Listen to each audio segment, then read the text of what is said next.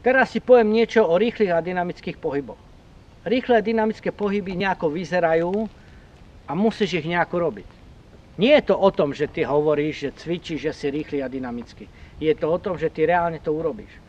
Častokrát na moje tréningy alebo výcviky prídu ľudia, ktorí povedia, pohode, Paťo, toto strieľam, toto mi ide, to je brnkačka. A potom poviem, OK, strel to a poviem rýchlejšie, rýchlejšie, ešte rýchlejšie. A ten človek sa nevie pohnúť, nevie to urobiť. Prečo? Lebo nikdy to neskúšal. Nemá to v sebe. A nemá ten pocit na, e, našlapaný v sebe tak, aby to vlastne reálne urobil. To znamená, čo od teba chcem a čo ti radím je to, že pokiaľ budeš robiť pohyby a budeš strieľať za pohybu, tak ako som ti to ukazoval metodicky v tých videách, tak minimálne to urob tak, že 20 krát 30 krát to zopakuj pomaly, ale potom povedz si, teraz idem rýchlo a makám, makám a urobím rýchly dynamický pohyb. Minimálne 1, 2, 3 krát.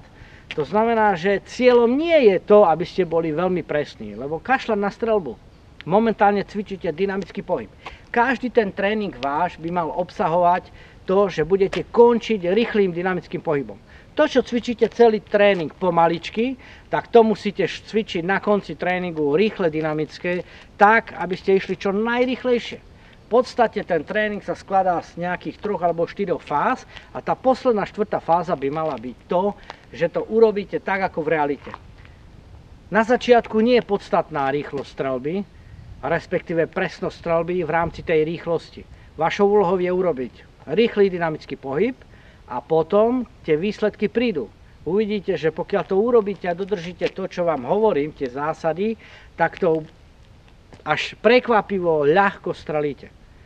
A potom zistíte, že keď si dáte 10 tréningov, ktoré budete končiť rýchlým dynamickým pohybom, tak naozaj ten 11. bude tak krásny, že prídete bum bum bum a dáte všetko.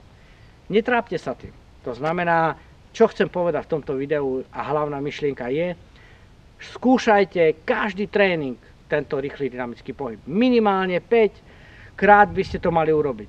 A samozrejme streliť. Presne tú úlohu, ktorú ste si vytýčili, to urobte. Držím palce, aby vám to išlo. Verím, že ste to pochopili a že vám to dáva zmysel. Poďme do toho.